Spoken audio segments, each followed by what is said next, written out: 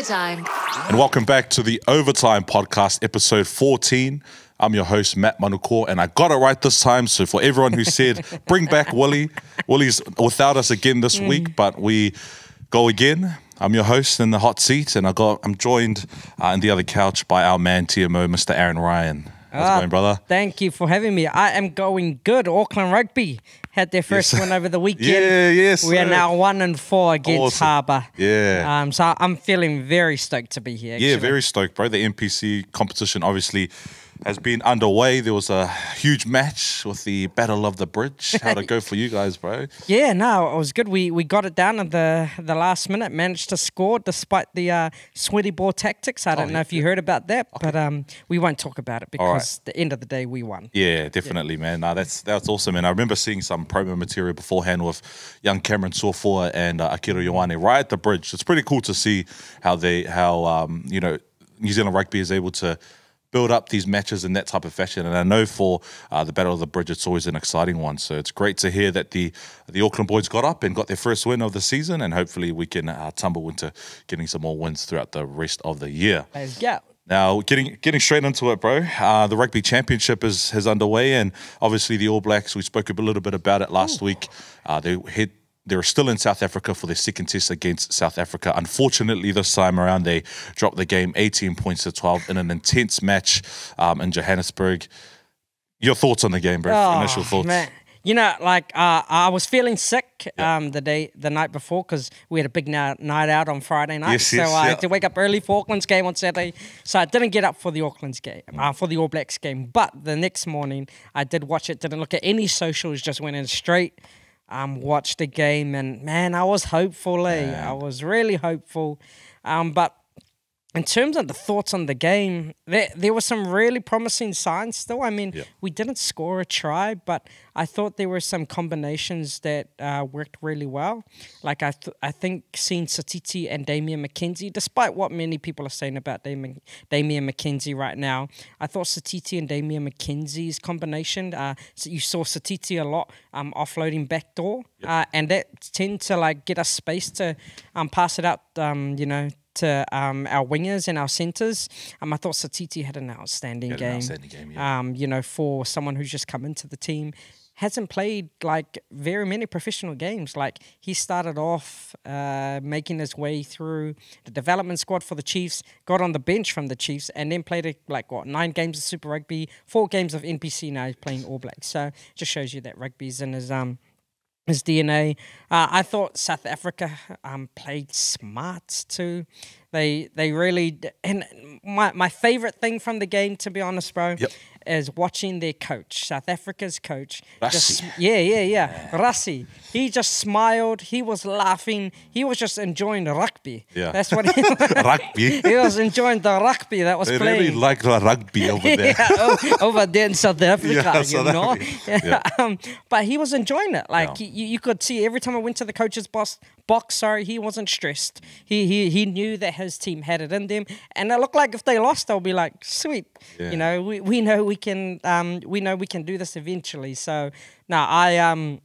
Yeah, a bit guttering to see that the All Blacks didn't score, that they didn't win, and it looked really, really tough on the players. Um, but yeah, how, how do you think the yeah, it did look very tough on the players. It was, it was unfortunate to see the All Blacks win, uh, lose. Sorry, um, first time in seventy five years that the Springboks have beaten the All Blacks in four consecutive matches. First time uh, since two thousand and nine that the Springboks retain or regain the Freedom Cup, the, the uh, cup that's played between uh, both of those, uh, shared between both of those countries. So it's a bit, it was a bit worrying, um, but I was encouraged by the performance of Wallace Sititi, young Wallace Sititi. He's usually playing in number eight, uh, but this time he he. Uh, he filled The in in number that number six six, shirt, and he was.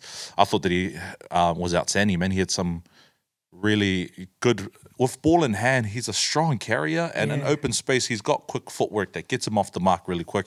And we saw that when his, in his break through the middle, bro. And I was like, you know, cheering at the screen, like, come on, bro, you know, finish it off or find an offload and all that sort of stuff. So yeah, I think um, I think we were missing the the expertise and the sort of power from Caleb Clarke on the wing. Yeah, Um, and also, I, th- I thought Will Jordan did really well uh, at the fullback position, but Yeah, the, The- again, The, only thing about Will Jordan for me now is, um, is he better used in the In the wing now? wing, yeah. Because they put him at fullback thinking he was going to get in the game more. Yeah. But we saw he barely was able to touch the ball, and if he did, he kicked it. kicked so, it away. Yeah. Yeah, that's your- that's what I understand about rugby, bro. That that kicking game is something that um, that the All Blacks are known for now, not running the ball. But I felt like Mm. if he was, he would have been able to, you know, played a bit more eyes up. And, and take on the line and, and really use his attacking flair that he does when he's on the wing, then uh, he would have been a bit more dangerous. So yeah, I definitely agree with you that I would like to see him a bit more involved uh, on the game. Now we look back at the game and we look back at the rugby championship for the All Blacks. The worrying signs for them um, after they've suffered their sec- third loss in four games. yeah, and and um, that's the fourth loss into South Africa in a row too.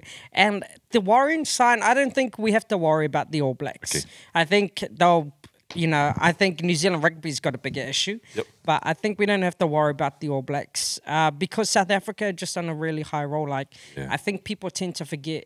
All Blacks last won a Test series, or first won a Test series in South Africa in 1996 when Sean Fitzpatrick put up his hands to finally celebrate. And that's a hundred year, you know, at that point it's probably like 80 year history. But um, we only won our first ever Test series in '96. Had a bit of a roll. We slumped to Australia in the late '90s, early 2000s, but we've just been on this high, yeah, this real high for the last 15 years. So, you know, the rest of the world has caught up, and now I mean, I could be contradicting myself. We maybe have to be worried, but um, I think the main point that they really need to worry about the All Blacks now is not scoring a point in the last twenty minutes of Yes, both games. yes. they never got to do that, and it makes me think: um, not scoring a point in their last twenty minutes. Are we missing just a try scorer like Hoskins Sotutu? yeah. Like you know, if you look at our flankers, if you look at our um back, oh not our back three, but you know our six, seven, and eight, they're just real hard men Grinders, eh? grinders, you know, and that's the style of um Razor, right? But are we missing someone who's oh sorry, are we missing someone for a bit of flair? He talked about last week, you know, the reason why he put TJ Perenara and Beauden Barrett on the bench is because they had issues finishing the games. Well, showed against South Africa. Yeah, we when they didn't came really on and the they game. didn't finish. Yeah, they So, couldn't finish. uh, yeah. game. Do you think we're missing someone like Hoskin Sotutu? Yeah, I think so. I think you're exactly right. Someone to break the game open in that type of sense. Uh, You know, the likes of Richard Mo'unga as well. I thought that he was sorely missed, uh, and especially with ball in hand and open space, and he can. We uh, missing a sort of X factor uh, in all in all from one to fifteen. Uh, I think that uh, you know we saw glimpses of it, when Beauden Barrett came on against in the English series, where he provided the X factor. But I think with a team against uh, with a team like uh, when you come up against the likes of South Africa, it's it's hard to you know go down to the wire and grind. And we saw that in the World Cup final last year uh, when it went right to the grind, and South Africa just outmuscled us and and won those small moments. And I think those small moments again in um, on Sunday morning's test against South Africa was where South Africa bested us. Uh, they looked a lot more comfortable and cohesive as a group. Uh, they've they've become accustomed to winning. They've become accustomed to winning against the All Blacks. And I think that that Rassie, you know, going back to your point about him um, him uh, being happy, smiling, not without a worry. I think that that's the testament of our sentiment of the whole team and whole, the whole group. And when you're the All Blacks and you see that in front of you, when you see these guys that are just relentless and that are winning, you know, winning the breakdown or winning penalties or, or winning in those small moments or big moments, um, it can be hard to break through, uh, break through both mentally and, and, and physically when it comes to scoring tries, but also when it comes to yeah, point, putting points on the board. And to your point as well, you know, like seeing the coach uh, Rassie and how happy he was, he he's got a South Africa just know seem to know who they are. They're Yeah. the Rainbow Nation. You know, ninety five rugby changed their rugby changed their whole country, so they have something to actually play for. It feels a bit like the All Blacks don't quite have that yet. You know, we we're literally just playing for the All Blacks Yes. and the All Black brand. They're playing for a country. So is that something that we would need to work around in as well?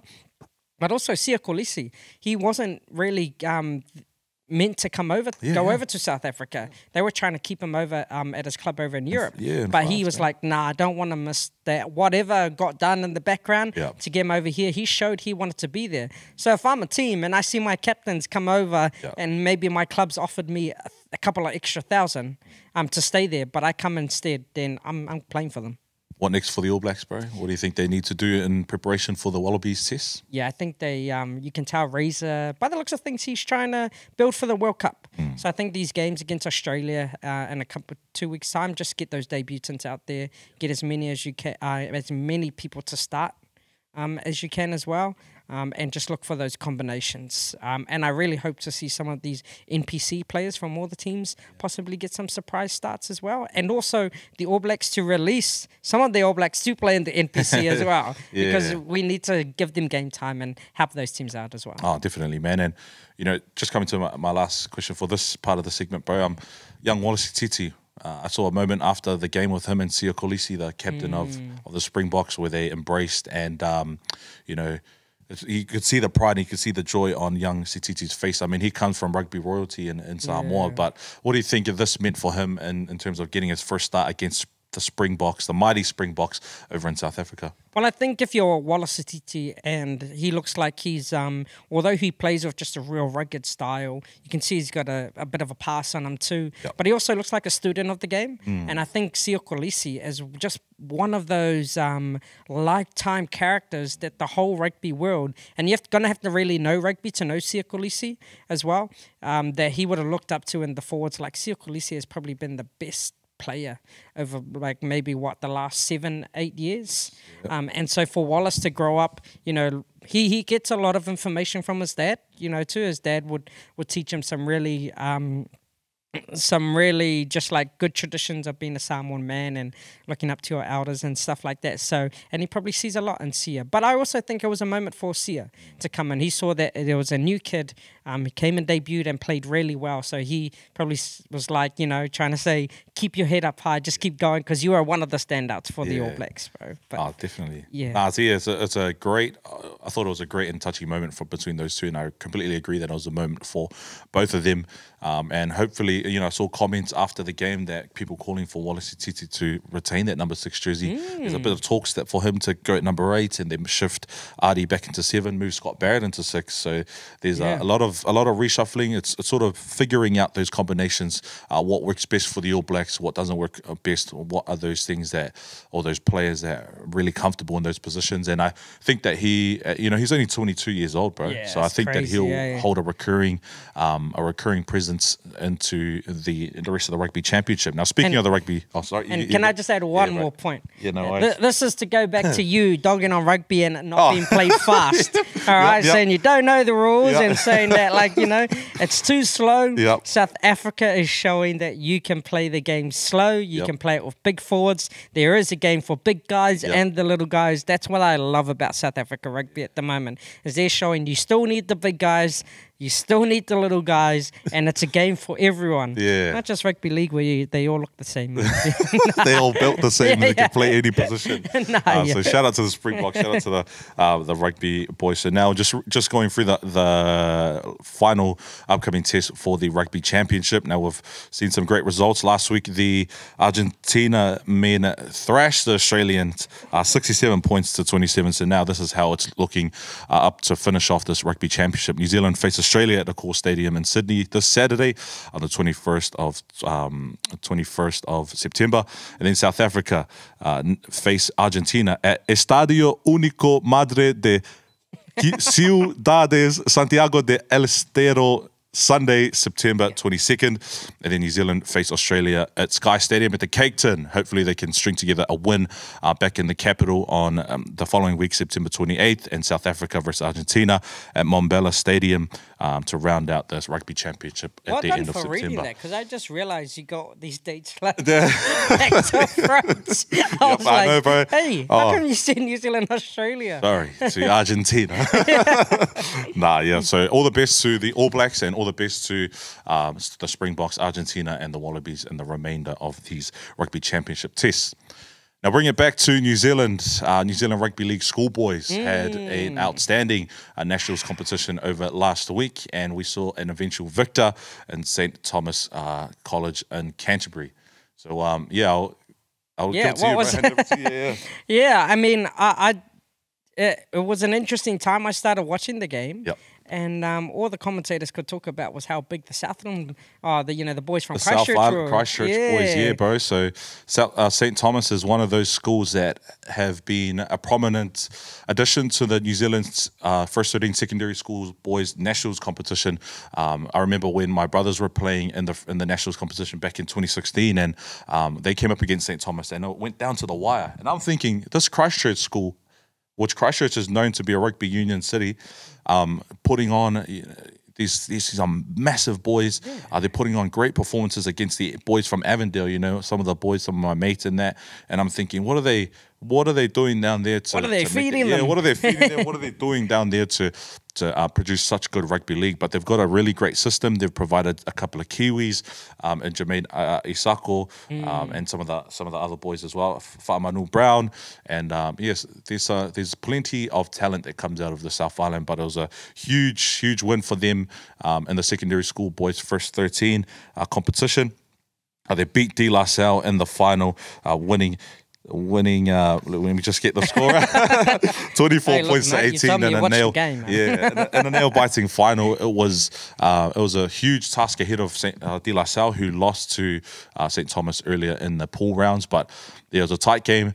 St. Thomas got out to an 18 0 lead, um, and De La Salle fought back valiantly before the end of half time. And then the second half, it was a lot of back and forth. It was quite, uh, it was a game that really went down to the wire. And um, unfortunately, oh, unfortunately for the De La Salle boys up in here in Auckland, uh, St. Thomas were able to streak away with the win with a late try uh, on the outside on the Oh, right so wing. they scored in the second half. St. Yeah, Thomas, bro. Yeah, St. Thomas. So, so to close out the game and win the game. So, I was unfortunate for for De La Salle, um, which is, sees a lot of our Pacifica boys, but also it sees a lot of our Pacifica boys in St. Thomas who look huge. Yeah, who look massive, bro. Your th- your thoughts on on this uh, victory for the South Island school? I, I, I love that um, uh, South Island schools winning the rugby Yeah. league competition just because Auckland we've had our we've had our range. St Paul's were champions for a long time. Yeah. We've even had Kelston come through. We've had De La Salle of late. Yeah. You know, we had like you said Avondale College, but it's cool to get these because you know there's players like Simon Mannering,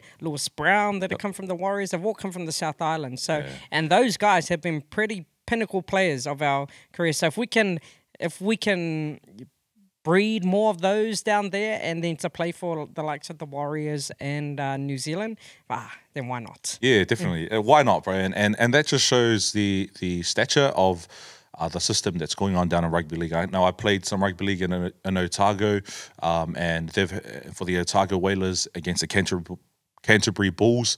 There's always tight matches between those sides because they have um, Canterbury Bulls have such a good system and have such a good talent pool of players. I mean, you've you can pick from some of these quality players that come from rugby union and come to play rugby league, which uh, which I think that they can find some success or they have found some success uh, in doing so. But they've got some good coaching staff down there. I've met some of the coaches uh, from Canterbury region, and um, it, it, you can see and and we spoke about it off here, bro, but. You could see how big those boys were from St. Thomas, man. Yeah. Can I can I ask though, what's the difference between um, people who play in Christchurch to, to Auckland? What what do they do differently? Because even when you watch the South Island teams actually play, they play with a bit more structure, a bit more like um, I guess heart. Yep. As in a lot of Auckland schools, we have the skill, we have the size. So for so long, we've been used to that.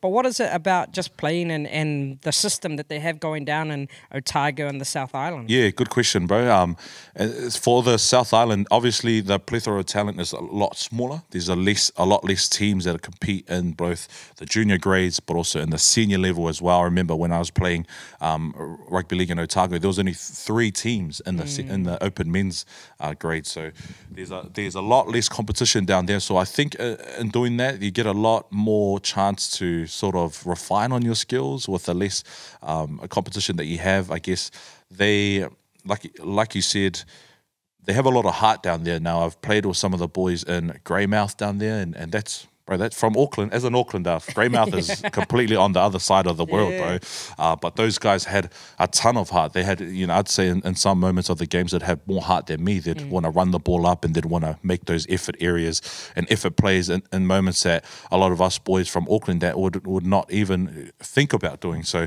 I think it's it's a the South Island is obviously there's a lot less people down there. Uh, they produce a lot more, a, a lot grittier players that really want to stay in the fights, that really want to, you know, battle it out um, for the full 80 minutes in rugby and rugby league, which we see uh, often see from the Crusaders and we see from the Highlanders that really like to grind out those those wins. And for rugby league in this instance, I think um, they're finding that success because of the systems that they have in place, um, and they're starting to develop some of the talent down there um, a lot more. Um, you know, due to the fact that they're that they're getting in some more quality coaches from overseas, but they're also you know bringing up some of their their grassroots coaches as well to help nurture the talent, and I think that's what you need. Um, in, in this context, for especially developing young players now in Auckland, in contrast, uh, we have players that play Auckland Rugby League, and they've there's 20 teams. You know, there's 10, 15 teams Yeah, that we get to play. There's so much players and so much talent pool that, um, and I, in my opinion, I can I think that it can get it could get quite discouraging as well uh, as a young player, just to know that there's other players out there better than you in the Yeah. Auckland Rugby League, um, uh, in the Auckland uh, area. But when you're down in South Island and you know who's the best, you, you there's a slightly smaller. I think that that contributes to their confidence and they and they really go out there and, and produce these uh, great performance and great results. Now I see I've seen after they had that win, um, and you can see the sky camera going up on them, and uh, they're playing not like us. Yeah. By uh, Kendrick Lamar, bro, and I'm like these guys. Who, the South Island the South? Island boys, Ah. bro. So you think as an Aucklander, man, these what are these South Islanders getting all the confidence for? But um, the TikTok generation. yeah, that's, that, that's, it. why. Though. It's exactly that, and uh, I think that it was uh, it was a great result for rugby league. Uh, it just shows the growth of the game in in and around uh, New Zealand, and it will ultimately benefit from uh, you know for our Warriors and for the Kiwis in the future. Yeah, and you know what always impresses me about that's just the South Island Yep. people is how actually mongrel they are. Yeah, bro, yeah, yeah, they are, man. Those um, you know, you saw a lot of De La Salle boys, and in the South Island team too, St Thomas, a lot of island boys, eh? But Heaps. those those Balangi boys, and but like if they're um, either team, ah, they just know how to go. They get smashed, they get back up, and they're like straight run again. run again, yeah. yeah, like. I, I really appreciate about you know some of those rural rural guys and and coun- country boys. Yeah. they just really get into things and Yeah. like they just yeah have no mercy against anyone. Yeah. You can smash them heaps of times, but there's 100 percent that you they're gonna get back up. Yeah, sometimes different to an islander. Yep. They might get smashed and Yep. then, but all their families and stuff are mocking them on the sidelines. they might refrain from holding the ball, so Right. or they know they're gonna get in trouble from their dad. exactly. you know, yeah, they home, so- they it gives a, a bit of different um, different type of intimidation eh, in that sense. But you know, you look at the the St Thomas boys, and speaking of them, some of those boys, and especially those island boys, they're big boys, man. And all Mm. I'm thinking is, what what do they feed the boys down there? They're they're real true blue Kiwis, you know, real. Um, Real getting that, that good grind and getting that good good lifestyle down there. So it's it's um it's a huge opportunity for them, and it's it's great that they get to come and try their hand against the best up in Auckland, but also uh, in the nationals as well. So a huge congratulations to the St Thomas Yeah, boys. congratulations, St. Thomas, and to De La Salle. and to as De La well. Salle as well. De La Salle, hopefully uh, you, you boys can come back next year and, and be stronger and better for it. I know our man, ca- cameraman, Joseph Safiti, who's a former De La Salle boy. He'll, he'll be reeling from that loss, but uh, we're thinking of you also and hope that they, the boys can get up next year in the uh, for the next competition. Now, in our last talking point, bro, Yeah. the NRL has recently wrapped up. What a season! And what a season uh, it has been for all the teams, bro. Just just before we get kicking into it for the finals um, preview, what are your thoughts been throughout this whole um, this 2024 year? Oh man, it's it's actually been really. Um, I think it's been one of the more competitive NRL seasons. Besides, if instead if you're sorry, I think it's been uh, more of the competitive um, seasons in the NRL, except if you're the Melbourne Storm. Oh, yeah. Melbourne Storm, they're Right. just ne- next level, and I wouldn't be surprised if they just take out the whole thing. But you know, you everyone underneath the Melbourne Storm, from the Sharks to the Roosters to the Panthers, you never really knew who was going to win. Like you saw you saw the Warriors beat the Broncos, and the Broncos ended up just under the bottom eight. But then two weeks ago, you saw the Eels smash the Broncos. And the Eels uh, almost got the wooden spoon Yeah, bro. if it wasn't for the Tigers losing the other weekend. So, like, um, it's it's also been an interesting time for how uh, to see how young the NRL is actually getting. Yes. Like you look probably because of the speed of the game, um, but you're seeing more just young people. Uh, become the stars. It's not so often now we might be seeing these Cooper Cronks who are playing till 36, 37 Yep. because of the style of the game. It's fast and it's a better game for it. But you know, you've got Crichton who's only 23 years old and he's the captain of the Bulldogs. You know, you got um Cam who's only uh, along that age, 21 or something like that One, I think. Yeah. and he, and he's sprinting off. So it's a young people's game, and it's been yeah, I've really enjoyed this NRL season just because of the competitiveness on it. And I mean, you saw Sharks who are sitting third or fourth, Fourth, um, yeah, fourth, fourth, yeah. and the Warriors beat them the other weekend, and they fielded. What was pretty much their, their strongest sides. Although you have seen a lot of injuries to this season Yes. um, from many players, like Nathan Cleary has been out twice, Nicho Hynes was out for a while. So, um, yeah, what are your thoughts on the NRL season? Yeah, the, the NRL season has been outstanding, man. It's it's been a roller coaster ride for myself as a Warriors supporter, but also in general, just seeing all the all the the news up to share. Shout out to the Warriors, up the wise, man. Always 2025, we're gonna win the NRL championship.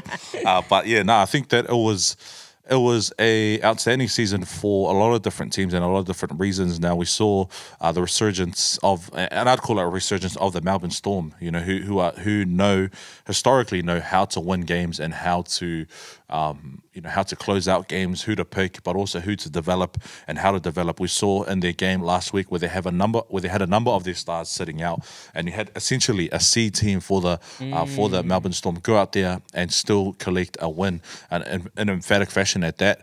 Now we saw the Broncos, unfortunately as well, drop to um, you know outside of the eight. They were in in competition of uh, making the making the finals and making the top eight towards the end of the year, uh, but unfortunately they just struck with injuries. But also uh, when they welcomed back some of their starting players, it just it didn't click for for the for the Broncos. There was um, some trouble off the field as well which which has happened as well. Tigers, uh, who who unfortunately uh, won the won the wooden spoon, if I could say that. Uh, they had Three years in a row, three peats. unfortunately for the for the, the West Tigers, but they collected some wins throughout the year. Uh, there was a bit of questions about Benji Marshall and his coaching tactics when early in the year he went off on holiday. Yeah, yeah, he went for two weeks to Yeah, he England, went on eh? a holiday to England and overseas, so people were questioning his his validity as a coach, uh, which was really strange. Um, but hopefully he, he's going to welcome Jarome Luai uh, back into the fold next year for the Tigers 2025 season. Uh, we saw the resurgence of the Canterbury Bankstown Bulldogs, who for the first time in tw- uh, since 2016 have made the NRL finals. So that's been that's been awesome. We've seen the rise of Stephen Crichton as the captain, like you mentioned before. We also really recently saw Josh Addo-Carr. in Yeah, and. Josh Addo-Carr and the new and the news. There's a lot of lot of dramas as well coming out of Belmore, but we're hoping that they are able to to do some really good things. So there's a lot of a lot to unpack from this season, um, and we go into these finals with a, a set uh, eight. There was a bit of um, there was a bit of clunkiness in the in the bottom. Uh, around the eight position, who was going to win? Because there was like four teams on the on Yeah, bro. It was. A, like I that. think eh? it was the Raiders, the Knights, the Dolphins, the Manly Sea Eagles, Yeah. um, who are all fighting for that eight position, um, and it rounded out to be the uh, the Manly Sea Eagles and the Newcastle Knights to secure that. That eighth position to secure their place uh, in the NRL finals. Now we're looking at the the draw this week. Mm-hmm. Um, so the first game up, we have the Melbourne Storm, who are in first place, facing the Cronulla Sharks, who are in fourth place. Uh, second game, we have the Penrith Panthers versus Sydney Roosters, uh, who are second and third. Uh, North Queensland Cowboys. Uh, in the first elimination final, will, face the Newcastle Knights, who are in eighth, and the Canterbury Bankstown Bulldogs will face the Manly Sea Eagles in seventh place. So there's a lot to unpack in those finals, bro. Your thoughts on uh, those matchups? Well, I, I want to ask you. Yeah. Who's the surprise? Who's the surprise win? Do you think? All right, so I'm gonna I'm gonna say it right here and now. Um, so this is this is the obvious choice of the NRL finals that that any anyone could pick, but I think that it'll be the Melbourne Storm um, versus the Penrith Panthers in the final. So that they'll meet in the final. So I'll pin that as the grand final. But in my wild card and who I think that's going to make it, Yeah, yeah. that'll be cool. I would love to see the Manly Sea Eagles get up and get and win the whole competition. Really, the Manly Sea Yep, Eagles? I'd love to see that, bro. They're like the Auckland of New Zealand, eh? People think they're arrogant because Yeah. they got a really nice beach and all the flash houses over there. Yeah. yeah, not too many people like Daly Cherry-Evans. Uh, there's, I think there's a lot of a lot of young talent um, in that team as well. But also Daly Cherry-Evans, like you mentioned, he's he's what 34, 35, so he's coming on to the end of his career. So it'll be good to send him off uh, with a uh, with a premiership. I, I remember seeing in the in the start of the year they produced some some. um document or some docu series of their preseason training. Now, the Manly Sea Eagles are the only club, or I think one of the only clubs, to win a premiership in every decade that the NRL has been around. So the one that's missing at the moment is the 2020s. Um, so now that, that that's their goal to try and win the premiership over the next five years, and I think that they've played some good footy this year, and they could possibly steal it. yeah, I, uh, uh, uh, well, it takes me back to Manly Sea Eagles beating the Warriors in 2011, which uh, we shouldn't spend too much time on because let's not live in the past, Matt. However, um, yeah, I'm. Uh, in- regarding like, I was thinking this weekend, who is going to be the surprise win? Yeah. And oh man, where, oh, is this Number four? Yeah, there Yeah. we go. Yeah. Um, I feel like out of all the wins, because you got the North Queensland Cowboys um over there as well, but I don't know. I've I I feel like the Bulldogs would be the surprise win. I mean, that'd have to beat Manly, so I'm sorry. I wouldn't Yeah, be no, that's all right. Yeah. I think, yeah, like you said, the obvious matchup is Penrith and the Storm. Mainly because Penrith, they haven't been the, especially the second half of this season, they haven't been the flashiest, but they've shown they can still win games. Exactly, yeah. Especially without Nathan Cleary, who who was such an who is such an important member of their team. Yeah. For some reason, they're coming coming away with these wins and Yeah. close wins too. Exactly. No matter who, they're just winning, Yeah. and that's what the Melbourne Storm are generally known for. I mean, thanks to the likes of the um, talent depth in the Melbourne Storm with Jahrome Hughes, Papenhuyzen, Fa'alongo, who can't get a starting spot, all those players, and all those Samoans who joined the backline the other week. um, There were uh, heaps, man. There were heaps. yeah, it was, it was a whole backline Yeah. uh, at some point. But because of their depth, they've been able just to thrash teams because um, what is it? The coach just knows how to how to get the best out of them. But I feel like if anyone's going to pull out um, an upset, uh, it's going to be Canterbury um, Bankstown Bulldogs. Oh, if they can get over what's going on with them in the news, Yeah. yeah. Yeah, there's there's a lot going on in the news, and you mentioned it before uh, with Josh Addo-Carr. So that looks like he's going to be out for their finals um, appearances. So there's a lot to to sort of lift for the, the Bulldogs, but I think that they can. They've been a strong team throughout this year, and they've you know Cameron Ciraldo and the boys over in um, over in Belmore have have really done well to bring the group together and to you know string some some wins along this year, some outstanding wins at, at that. But also, we're seeing the likes of you know in the last couple of rounds they got smoked by the Cowboys. You know, in the- Yeah. um, before I think it was that last round. Yeah, they got smoked by the Cowboys, which they'll have to carry that into this week uh, when they face the Manly Seagulls and and try and you know you know retouch on those um, on those feelings um, throughout the, when they were in that winning period earlier in the year. Uh, so there's a, there's a lot to unpack for for all these teams, but. I think we'll just we'll go through all the, the things and we'll get your predictions on Yeah, it, bro, yeah, and, yeah. and, what you reckon. Um, so the first first game out, we've got the Panthers versus the Sydney Roosters. Who, who are you picking for that game, bro? Yeah, we'll, we'll go the Penny Panthers. Yeah, yeah, we'll go Panthers. for the boys from uh, Western Sydney, Australia. What about you? Yeah, I'll go for the Penrith Panthers as well. I think they'll get up convincingly. Uh, I'll convincingly. I think they'll, it'll be a tight match, but Mm. uh, I think they'll secure the win. Melbourne Storm versus the Sharks. Yeah, we'll go Melbourne Storm. Jahrome Hughes is an He's out. He's an he- outstanding. He's, he's a. Dally M. If it Yeah. doesn't win, then whoever runs a Dally M, you obviously don't like New Zealanders. um, but yeah, Jahrome Hughes is just in too good of a form, and Yeah. um, even Cartors, he showed again why he's one of the most athletic back rowers out there. Yeah, and and I think that if they're able to utilize them well, they've they utilize their back row as well, like they have been doing. But also, if their uh, spine is able to click like they have been doing with Papenhuyzen there, he's, he has he had a bit of niggle over the past couple of weeks, but um, I'm sure he'll be firing come come uh, finals time too. So all the best to, to the Melbourne Storm and the Cronulla Sharks. North Queensland Cowboys versus Newcastle Knights. Who you picking, bro? Oh, ah, that, this is this is the game of the round, I believe. I mean, I really like North Queensland Cowboys. I think Heilum Luki Yep. is um is in massive form. Yeah, bro. Um, yeah. Uh, ju- just because of his form of late, uh, I'm I'm picking the, the North Queensland Cowboys. What about you? Yeah, I picked the Cowboys too, bro. I just I don't like the Knights.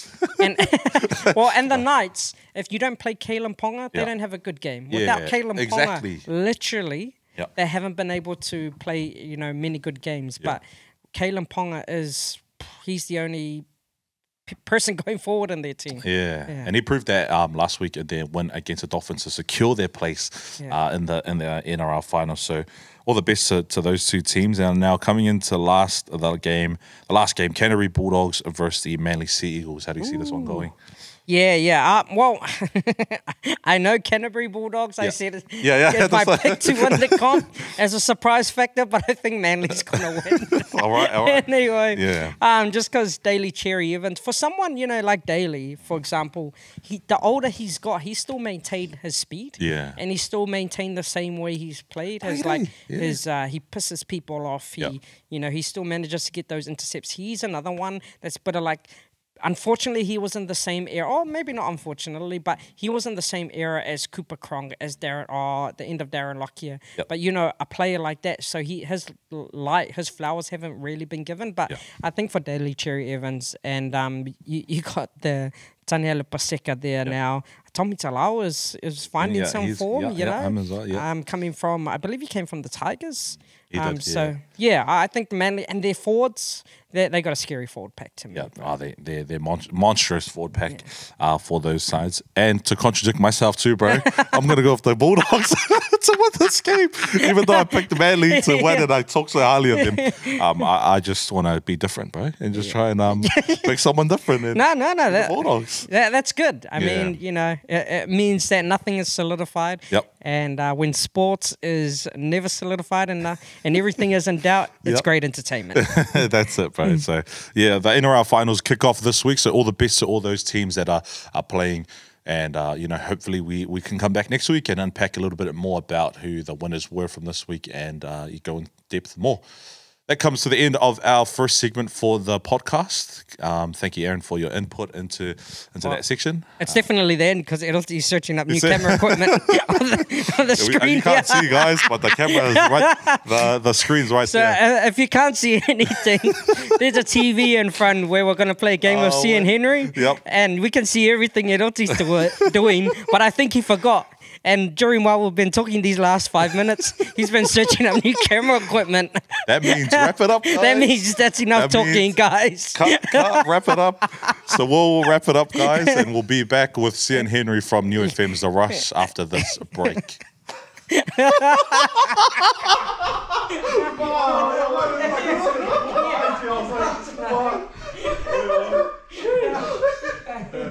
And welcome back to the Overtime Podcast. As we mentioned before, we have some special guests that will join us in the studio. Uh, but as tradition for the Overtime Podcast, we're going to introduce them in emphatic fashion. So introducing from Niu FM, Let's go. The Rush, Sia and Henry. Okay. Malo, Ah, malo, yeah, malo. You're welcome. You're welcome. You're welcome. Welcome. All right. Where's Uh, yeah, I was waiting for the music too. John Cena. Oh, Ha just the mic's on your Just right. mic I'll on your Oh, right sorry. there. Yeah. Thank Oh, you, Sia. Welcome, guys. Thank you for Welcome. having Thank you, us. son. Yeah. No worries. Um, obviously, yeah. Welcome to the Overtime Podcast. Unfortunately, we were Hey, hey, without let's leave our family uh, issues back home, okay? family dynamic. Aaron, Yeah, yeah. Matt's Sorry, trying to talk. Oh, I know I didn't sorry. make my bed this morning. All right. We're all back right. to Matt Manukuo. Few menus. back to shout out Matt Manukul. But yeah, thank you guys for joining us. Can't shout out Obviously, yourself. Shout out to myself. um, we're without our man Willie Poaching, who is overseas at the moment, but we he would have loved to be here to to have you guys in. We've been calling for you guys to come in.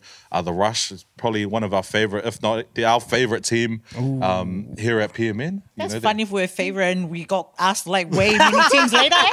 Hey, That's funny. You're the team- favorite. Joseph's Just been here before we have. yeah, like I mentioned, and all our guests, everyone's excited to come on. Like, oh, finally, we've, we've been asked to come on the podcast. But again, thank you so much, guys, for, for coming in. For I'll having just get you to introduce yourself, your name, and who you represent um, here at PMN. Start with uh, you, Hen- Henare. Kia ora, my name's Henry. I represent The Rush. I'm one half of The Rush, and we do the afternoon show on Niu FM. Malolele, I am Sia. I am the other half of the Rush, part of the Niu FM team. And nervous to be here. so I know nothing about sports. She looked down the barrel of the yeah, camera. yeah. That's how you know You you're gotta nervous. connect eh? with the viewers. and you gotta put your feet down. Viewer. No. Oh, oh, wow. Thanks, Mum. Thanks, Dad. Appreciate it. Um, but and um, thank you both for coming on. I mean, it's um, it's just a bit of a chat, really, about you know, it, it's not one of those things where we get people on to um. Talk into great detail about sports, but it's just people's stories about sports and how they're growing up. So, um, for the both of you, You've picked the wrong people for your podcast. and and that's and, right. and that's why we guys we got that's you on to break it all up. Um, but for the both of you, um, we'll start with you, Hinare. Oh, eh. Um, because Sia, we do want to touch up on um, you've been going through a, a really cool, you know, um, fitness journey that we'd like to touch on. But Hinare, Mm. uh, regarding like sports in your family, was it a thing? What was your experience or relationship with sports? I hated sports as a kid. Well, that's only because I was a fatso. I was a little fat kid, so I would wait for everyone to run on the field, and then while they were playing rugby, I was rummaging through their bags to not a sport itself. steal their lunch, steal their lunch money. Um, but in terms of sport, I'm just not very athletic, and I've come to terms with the fact that I'm all right yeah, not being a sports person. But you've you've remained in pretty good shape for Thank someone you. who's not- That's uh, depression and bulimia. that's uh, alcohol and Oh, no, cut that. well, no. Also, when it comes to sport, my family are huge sports people. Like, they- but because we were not only was I fat, I was also poor. So we only had one TV in the house, and it was always on sports. So when I eventually got my own TV, I said I will never watch sports. Well, where did you grow again. up, Hinare? Where? Uh, Yeah, like did you grow up In West Auckland, in Oh, South yeah. Peninsula, born and bred. Shout out West Auckland. Yeah. Um, but that's my relationship with sports. I only go to a sports game to drink. That's the one. Yeah. That's what they want you there for. Yeah. You're the people who keep those people employed, you know? You're right, I am. So I'm going to need a cut of Ardie Savea's salary. Uh, but that's my relationship with sports. I'm okay with the fact that I, because you know, not everything is for everyone. Hmm. I was too busy watching Jerry Springer and Oh, yeah. Sally Jessy Raphael. I was a bit worried when you paused there after watching. I was a bit worried when you paused there after watching. I was like, oh, yeah. Oh man, and for yourself, Sia, has sport been a part of your family, or yeah, how, Yeah, how's your TV. relationship? Okay, yep, yep. how's watching her relationship? sister at rugby. TV, um, I was never into sports. You know, I was always kind of one of those kids in school that was always the last one picked for a team because they knew that my athletic skills were so great. They're like, save Sia for last. Um, as my siblings entered this world, got into weekend sports, you know, the rugby, and I'm really the hearty supporter that likes to make her DIY signs at home, take it with me, make sure that my sign is bigger and stands out compared to everybody else's signs. Um, yeah. but I enjoy going to sports like Henry for like a drink and for the social aspect of it. Um, yeah, when the Mate Ma'a Tonga games were on, like hearty, like in red, going to all the games. I didn't understand a damn thing. I only just understood the difference between rugby and rugby league a few years ago. And the way my brain processes it is rugby league, you get the ball six times, and rugby union, you don't. Don't- yeah. Don't tell me otherwise, I was going to get confused. is going to be too confused. Yeah, but that's pretty much sports for me. Didn't I did make the cross country team though when I was at Oh, Papatoetoe South. Probably the last one that made the qualifiers, but um, don't know how that happened. And yeah, other than that, not really athletic at all or Well, sporty. Talking a little bit about your, your athletic journey, because what you do is athletic. Uh, tell us a little bit about the journey that you've gone on. I know you speak about it a lot, but we'd love to hear it on this overtime podcast. Of Stand up and give us a twirl. Yeah, yeah, Hey, yeah. shut up. Can we get a before and after shot of uh, of Sia on this Now I'm podcast? shy. yeah. Now, Sia's been, for those that, that aren't aware, Sia's been on an inspiring journey, a health health um, journey over the past nine weeks, uh, but also over the past couple of years, I believe. Um, and she's, you know, do- documenting that on her social media pages, but also on her um, fitness pages as well. Sia, could, could you unpack that a little bit about how you got into um, this health journey and also this athletic journey Well, because it to after athletic? you talked about it like that. I'm looking at you too, like, had I known he's going to ask me this? Um, oh my gosh, I'm a little nervous to talk about this. Um, yes, so you're right in the sense of I've been trying to work on my just overall health in the last few years. Um, this year, I decided to join a new gym. Yep. But shout out to BFT Airport Oaks. They were the first like group fitness that I joined here in Aotearoa um, in 2023. Now I've jumped into the world of, I guess, CrossFit. um, and for the last nine months, I've been at Fit Mums. I have I guess become a part-time athlete. I don't know because yesterday it was funny. Yesterday the CEO goes to me, "I've been carrying my air fryer to work to make my food while I'm on this um, 12-week program," and he said, "Oh, you know, Manu Vatuvei and them they used to. That's what the the Warriors used to do, carry their whatever they needed, right?" And I said, "Are you calling me an athlete, Don?" um, but the journey has been very interesting because the transform program that I'm on is um it's so different. Eh? Henry has had to unfortunately just listen to me unpack like all my emotions and stuff along the way. Um but this world of CrossFit, you know what? I admire anyone who is jumping into it because actually it's for everybody. It does not matter your level of fitness.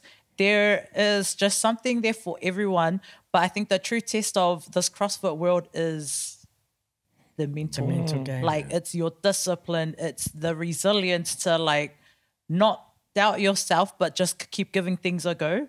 But for the journey for myself, um, yeah, it's been it's been it is fun. It's a little scary, but I also sharing it on social media allows me to hold myself accountable. Just to be like, cool, see, I went to class today, and here's what I did to not listen to the coach. And and speaking of like being held accountable to you two, obviously very close. You know, um, you guys for a wee while um, separated shows, but now you've had the opportunity the last couple of years to do shows. Um, what what's your guys? Uh, what's your relationship and support like with Sia? Like, is there something you know she mentioned coming into studio, and you know she releases a lot of what she's doing about what? Yeah, um, with you, what's that journey been like for for you? I don't think for Sia the hard bit is the fitness. I think for because Sia and I and, and myself we talk about this quite often. Like we are foodies. Mm. Like Sia and I both grew up as fat kids, and so we understand. we are fat souls. like we understand the, the the struggle with food. Mm. Yeah. I think Sia's biggest mental struggle, I think, at the moment is, is sticking to her plan and her mm. food. And there's times where I've seen her question herself. I've seen times when she's having an argument in her head, like, I'm just gonna eat it. I'm just gonna eat it. And I have to constantly remind her, like, you've put in all this work. Like, if you have your peanut slab now, it's not gonna be as satisfying mm-hmm. i- i- if you just wait for the end of it. So I think the the biggest support thing is the food because prior to Sia getting skinny, not skinny. we were sitting here. Our show finishes at 6 p.m. We would sit here until 10 p.m. just eating. Like takeaways, everything. We were just eating, eating, eating. And then once Sia decided, you know what, like I need to make a change in my life, hmm. Everyone else had to stop eating as well.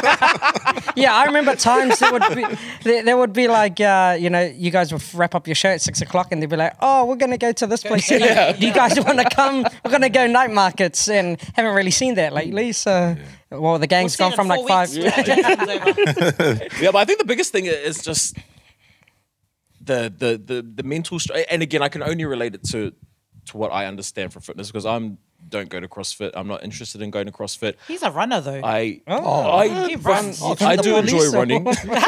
Oh man. At, at least it's running. Cardio. Some sort of activity. Yeah. I do enjoy running. It's just the the the the, the mental struggle with the food, and then I've heard Sia say before, like it's ninety percent nutrition, ten percent the gym. Yeah. and I truly believe that.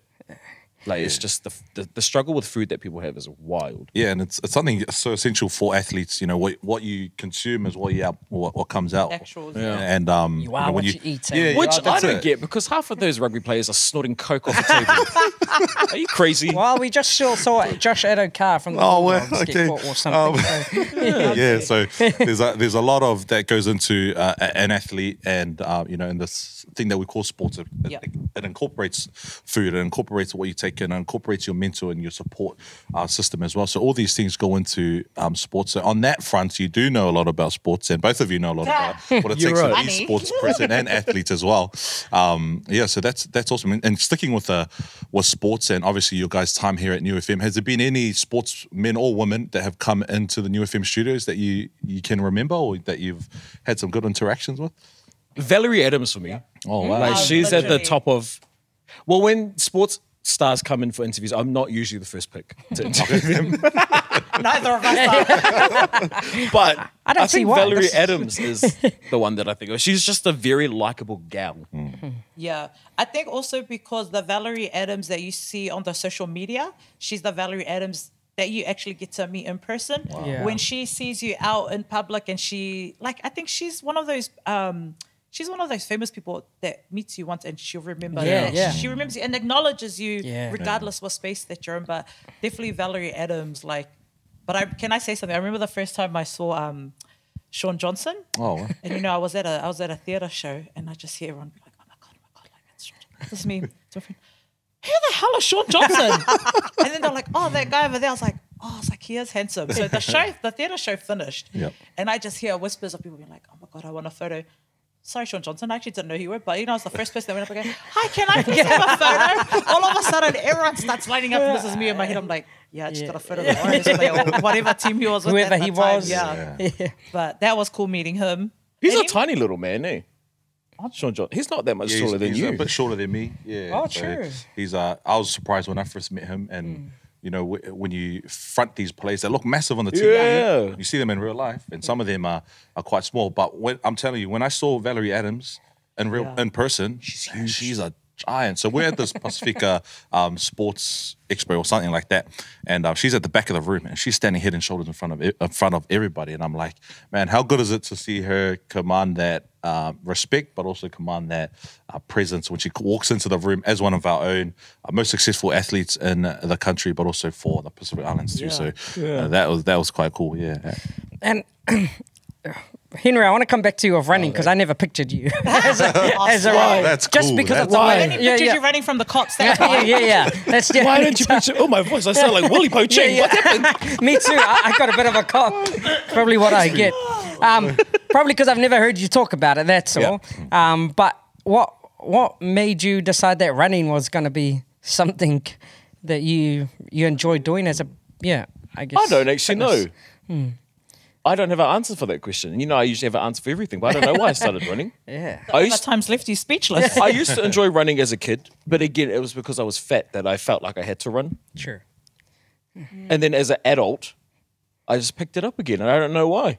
Yeah. Maybe it's just one of those things like Therapeutic? Is it Yeah, I guess so. I guess it Clears your does. head. Well, the thing with that, with it, and, I- and I hear people say like extra runners. I wouldn't class myself as like Usain Bolt or anything like, but I just enjoy running.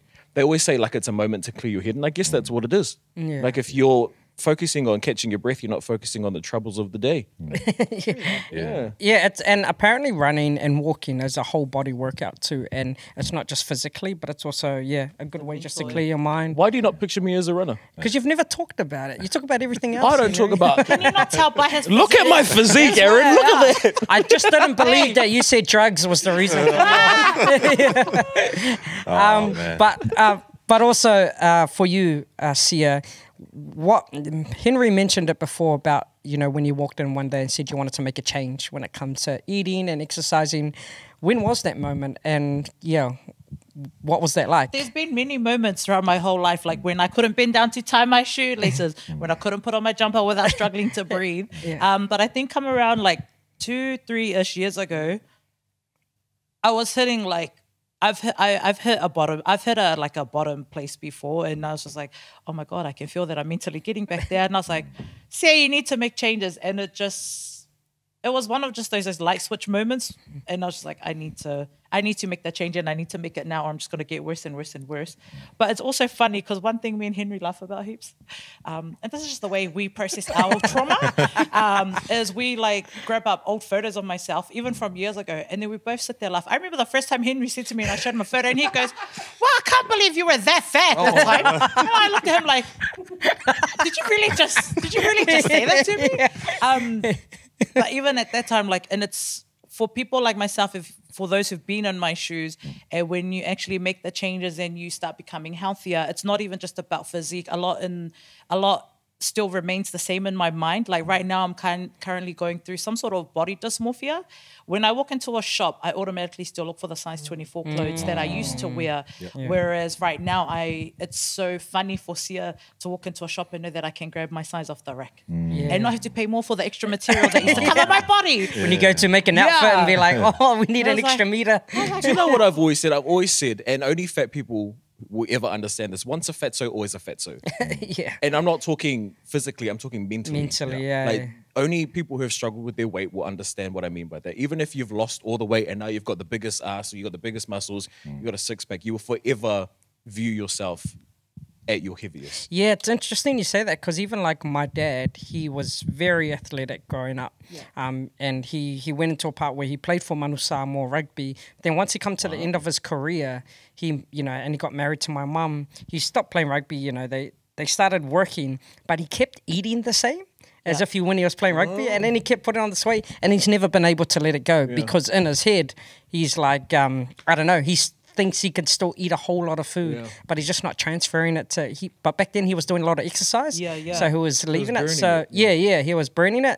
So in his head, he still thinks, oh, I can eat a whole bunch of food, and now it's just yeah, it's been a struggle, really. Yeah. But even with what Henry said, can I just say, like, that's what I used to think. What's a fat? Mm. Always a fat. So what I've come to learn as I talk with other people is that even the smaller people actually have the same or similar Yeah. experience. So it, regardless of your size, I think learning, especially as Pacifica people, Mm-hmm. we sit high in rates such as like obesity, diabetes, and things like that. It's learning, and I wish I learned at a younger age just how to live a healthier lifestyle so that we don't have the struggles that we're having now. Yeah, definitely, and and one of those things, or to, to mitigate those factors, or or those great um, word, mitigate. mitigate, yeah. Can you spell it, word. Matt Manukua? T I G A T.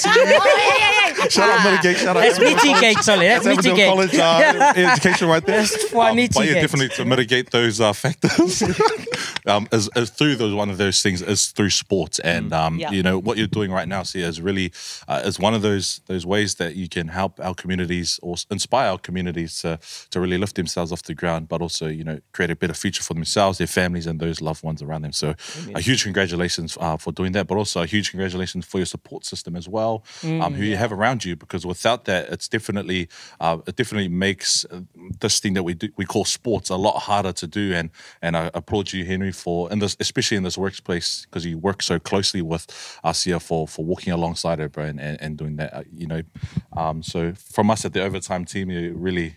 Really proud of you both, you know, Thank you very in this, much. in the sports um in the sports context. Now, I believe we know we, we close off that chat and we're moving into a game that our Mister our TMO our tiny man official has prepared for us. So yeah, we, we, well, yeah, tiny man official over here. Um, well, well, we got my little tiny screen over here that I take with me everywhere. But Bigger um, than you. yeah. hey, hey, no fat shaming over here. Okay? um, you know, it's one of those things that you spoke about moments, and we're going to play a game with the both of you. Okay. Okay. Oh, God, I'm and this is going to be called "What Happened." So, can everyone do that with me, please? What happened? Yeah. So it's going to be what happened, and it's some of the pers- biggest Pacific sporting moments that have happened Bro, we're screwed. over the years. We are absolutely and, screwed. and exactly that's why I've, I'm doing this game. right. Yep. So there, there might be some. Hey, hey, what really goes on in that uh, that studio? But this is some of the biggest Pacific sporting moments, and what you're going to do is Eroti is going to play out a moment. We're going to pause it, and then you guys are going to tell us what you What think. happened? Yeah, what, you think happens, and it, it doesn't have to be Oh, like serious. what it could be- happens next? What happens next? Yeah. So that's pretty much. So we got uh, this one over here. This is back in 2009. David Tua versus Shane Cameron. Oh, I was just born this year. You wish. oh. oh, So, Do you know What what? happened? I remember oh, this. yeah, yeah. But what happened next was Shane Cameron. Does he knock David Tua out? What's the answer, Eroti? no, no, you, you, You- you what do you Oh, guys reckon is the I answer? do Yeah. remember there was a massive upset with Shane Walker. Uh, not Shane Walker. Stan Walker and Shane Cameron. The Lord is watching you. together. Shout out Shane Walker. with uh, Shane Walker and David Seymour. I Well, we hope David Seymour was one of them. We're just- I do remember something about Shane Walker. ah, fuck, sorry, Shane Cameron. I think Shane Cameron got knocked out by David the Tua? David Mentor. yeah. The David Mentor. Um, because all I can see in my head, who's the guy that got his ear bitten? but I know Mike that's Tyson. not Mike Shane Tyson. Mike Cameron. Tyson. Oh, Evander Holyfield. Evander Yep. Holyfield. So that you're gonna lock your answers in. yeah. Are we having the same the- answer or wait, has separate David answers? Tua lost any Yeah. games? Yes. Um, Yes. yes. Oh, this is I think this Tua was one of them. I'm pretty sure I'm gonna go Shane. Cameron wins this one. Okay. Yeah. So answer Shane Cameron wins. If we could play it, please, Eroti. Oh no, I think we got it wrong. Oh yeah, we fucked that up. Oh, we mucked that up. Oh, Oh, this is. He Yeah. gets KO. Okay, I think All right. damn. Jeez. You got a hiding, bro. Wow. Oh well. Shane Walker. We Shane- can Strong someone hook six eight five hook right Yeah. there. Why did Oh, we think? man. Why did I think that Shane was known as the uh, the fight of the century in New Zealand. Oh, maybe Where- that's why I remember it. Yeah, it was pretty big in 2009. Um, See, I can't everything, remember so- because I was just born that year. so you, you're still drinking. Oh, Oh, hold on, Cielo. We're on to the next one. All right, Stian Oh my Henry. gosh. Uh, would you like to? Hey, I can we've see got me in the- the crowd. We've got the next one. This is at Mount Smart Stadium back in 2017 during the Rugby League World Cup. Um, we'll play the clip. The game is between Tonga and England, and we'll play the clip. Yep. Oh gosh. Oh, Hearts are beating now. English minds focused on keeping out this red wave. pause. What happens here, guys? Tonga wins. Tonga wins. Tonga wins. Yep. Yeah. How, do, how Think- do, oh, you want to know specifics? Like what specifically? yeah. What do you think happens? what happens? these- Dinah Jane comes out, and Sings the anthem again. Oh, say can ooze. It's her and General Fire. They come out at the same time. Um, I think. I think I was at this game Oh, yep. Yeah. with my Tongan 2017. flag. Yeah. Is this the game where they like literally scored seconds or something like? Right before, Before the, the, well, they only got three up. seconds left. Yeah, they got three seconds left on the. They're two points down. But is this the game like when it's time up? You can still go until the ball is out of the lines. yep. Yeah, Mm-hmm. that's the game. Oh yeah, so they got the score. Okay. Tonga scored. Yeah, Yep. I agree. Um, Oh, I hate this game. I hate this game. It's dumb. All right, a bit of bit breakdown about this game. That's Andrew Fifita. He's going to the, the ref. The ref has called the game off. He's not going to look back at the, the decision. He's not going to look back. Oh, they didn't look at the They screen. called full at the time. Controversial finish to Tonga's um, outstanding run at the 2017 Rugby League World Cup. Uh, their hopes that were looked over. like Eroti on the field. Who the security guard? so, No, uh, I actually do remember that game because Yep. me and my Samoan girlfriend we went together. And we were then they were like, "No, Yep. they didn't." Yes. Yeah. Yeah. How did I not remember that? I don't. I 'Cause thought I- you were I- going to remember it. To be honest. But- I think it's 2017 'cause I was wasn't a good year for me. so- Oh, I was in yeah. hospital then. I was just born that year too. wait, wait, no, hold on. I remember this one. all right. All I've said that so about we all got of the them. Kiribati uh, weightlifter Oh, here. this is from recent, hey? uh, yeah, What year? uh, 2020. 2016. Oh, Ah, nice. He's strong. Kitty Boss. Ah! Sorry, I got a throat. Yeah. Being uh, cracked. Yeah, his bones. So this is uh, yeah. So this is David uh, David Katoatau from Kiribati at the Olympics back in 2016. So So what happened? what happened? His He pelvis snapped. broke. No, he snapped his shoulder. He snapped his shoulder and Something his pelvis snapped. broke. I love the anatomy. Uh, Sorry. I know. I was just like, that's. Um, Can we watch it again, please? Sorry, Roti. Uh, look, man. Oh my god. it's like a, a thriller. Scary movie. Okay, I'm He's going to a- say specifically what his right. Fibula. Phalange. I'm going to guess that it is his right. I don't think it's his elbow. I think it's his shoulder. I think what happened is he was playing a prank. At the Olympics. Well, because That's the wrong time to play a prank. no, I It's been think four years for this moment. I think he was mucking around. No, oh. But you cannot muck around with 208 kgs. That's his third attempt. he's got a very womanly figure. like, look at that hourglass shape. Oh yeah, yeah, yeah. He, he's got some. He's base solid. on him, eh? Yeah, Solid. good You need to be solid for weightlifting. Shoulder wasn't solid; it snapped. Okay. Yeah, I'm going with right shoulder. Right. Okay, I'll go with the left shoulder. Okay. right shoulder, left shoulder. ah! What is that? It's what he does next, guys. I'm sick of you two in this game. Oh, Yeah, that's the moment we're See, looking that- at. see, that's like a. Can I say I actually remember that because I spoke about that on air in 2017. Oh, true. Oh, now he remembers. Yeah. he remembers. I'm sick of this game. Okay. Okay, we're, we're now moving on to a rugby game between Vaiala and Vailele in uh, American Samoa, the seventh comp back in 2014. Oh, I know what happens. Can we play that from the beginning, please, again, Eroti? I think I've got us a point, Sia. I know what happens. What happens? He falls on the ground and he over dramatizes it. Isn't that what happens? All right, let's see. He said, "Yep." yeah. Oh my gosh, that's so funny. Nice, Hinade. That's Thank you. Sportsmanship. Yeah. Shout out to uh, James, is it Bolabiu? The uh, Fijian ref? Yeah. Shout out to James Bolabiu for hand- handling that with great care. But yes, you have a traumatized. Yes. That's funny. I know Okay. who that is. That That is looks like it from here. Bob Marley. Bob Marley and Yeah, don't worry. Pee Wee Herman. Yeah, yeah, this is them in uh, Jamaica, actually. Uh, Tana Umaga in Argentina.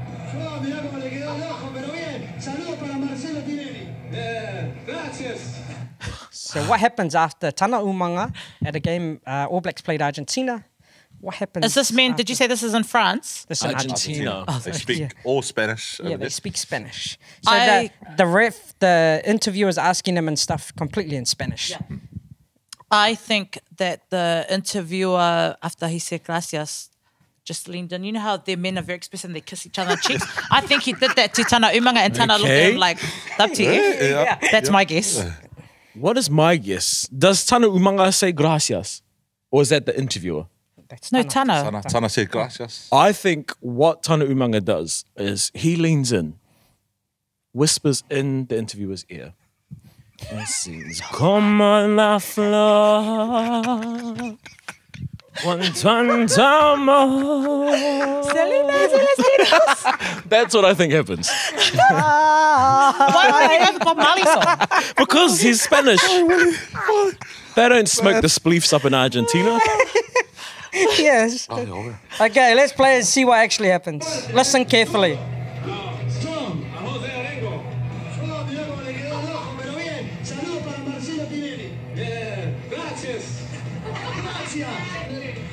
What did he say?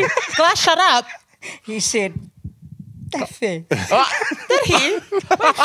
Play it again. Right at the Replay. end. He looked- Tana Umaga. Strong, a José Arengo. Uh, Diego le quedó rojo, pero bien. Saludos para Marcelo Tinelli. Gracias. Gracias. Mr. Umaga.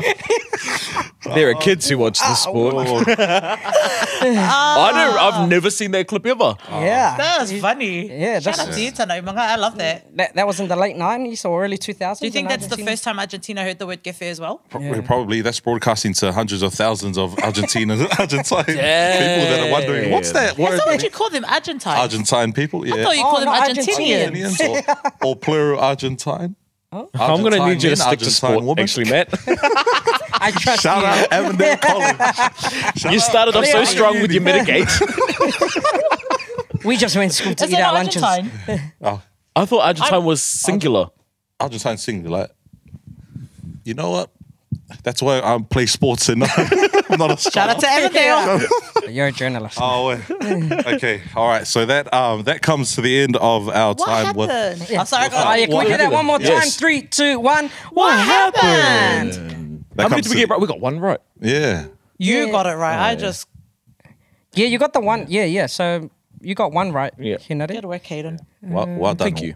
Well done to both of you guys, and thanks, thanks, Aaron, for facilitating that um, that game. That was that was cracker. There was, I think I laughed too much in that. I'm like, oh, so yeah, there was a lot of laughing, man. Was- I knew there was going to be a fun episode. So, nah, yeah, thanks heaps, guys, for for joining us on the Overtime Podcast. I'm sure it's not the last time we'll see you because Willie, I'm sure we'll love to have you back on when he's when he's back in studio. But thank you uh, for joining us. If for all our listeners and all our Overtime followers, if you want to plug anything or where they can find you or they can listen into you, um, you know, outside of the Overtime studio. The Rush.